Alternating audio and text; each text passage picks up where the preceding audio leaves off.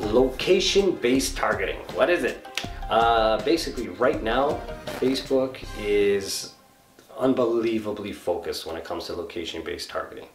If you know how to use it, it can open up a whole new world of possibilities for you.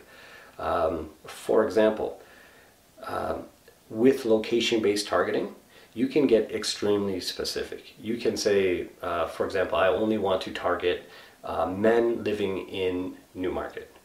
Okay, but that, that's pretty broad. Like you say you only really wanted to attract uh, men that work at the hospital. With location-based targeting, you can narrow down your search and X out everybody in Newmarket except for men who are at work in the hospital in Newmarket.